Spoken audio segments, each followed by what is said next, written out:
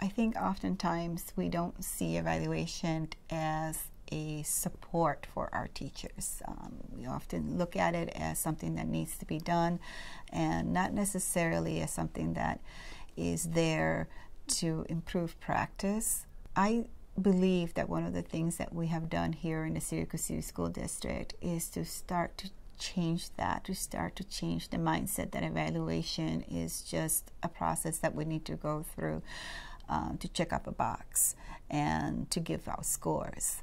Instead, it's we really want it to be a support for teachers in that we have an opportunity to have a collegial conversation about our practice with an expert in the field, with someone who has had years of experience as well as someone who is committed to learning about the newest research, someone who is committed to know what is happening in this specific field.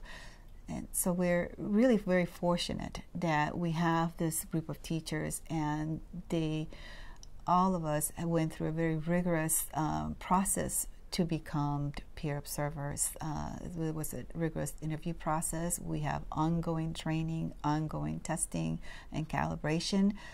Uh, and so it's it's a you know it's a really beneficial team to include in that support system umbrella. We have instructional coaches. We have um, very uh, other sources of support, but the fact that we're looking at the as evaluation as one other component of that uh, is a is it's a kind of a new way of thinking, and I'm kind of excited to be part of that.